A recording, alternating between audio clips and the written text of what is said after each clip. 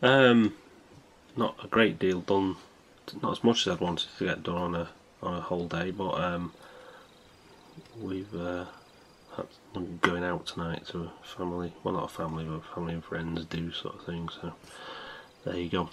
Um, cavalry, getting on with them. Um, thing about cavalry at this scale, you don't have to be that worried about it because um, you can't see it.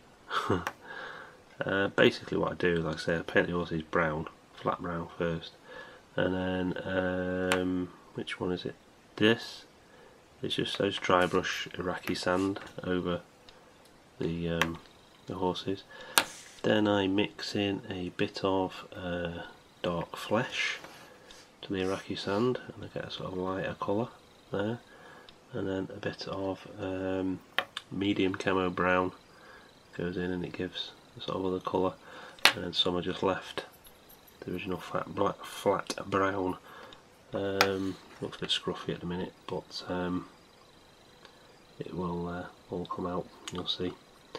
Um, yeah I always do the faces first on on this scale. So I just dot in the faces.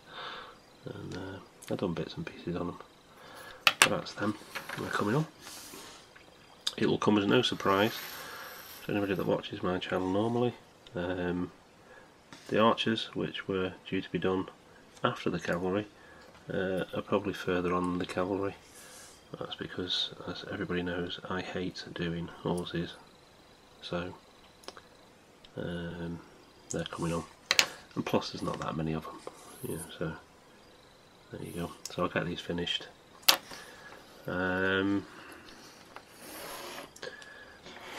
I have uh, primed the legionaries.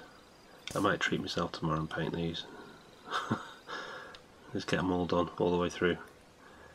Um, I like painting legionaries.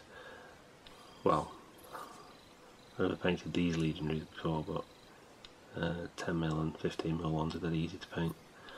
This is basically um, red shields, gunmetal armour and uh, white pants, as it were, white dresses. So uh, want to take very long at all. Just monotonous, so I'll get them done as well. Like I say, I might might treat myself and do all of them in one go, uh, and then finish the cavalry off or am I just putting things off? Okay, that's uh, that's what I've done today. Uh, I don't think there's a question today. Um, we've got to go and look at somebody's channel, but I don't fully understand the question or the objective or whatever it is. So um, I shall keep my eyes open and uh, see what happens. So uh, anyway, that's it for today. Uh, short and sweet. Alright, catch you tomorrow. Bye.